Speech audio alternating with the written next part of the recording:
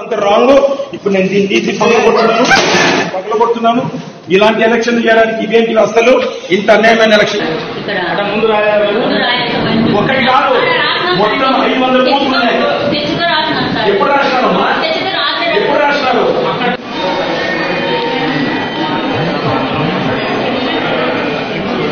మిమ్మల్ని అరెస్ట్ చేయండి మీరు తొందరగా కానీ ఈ రకంగా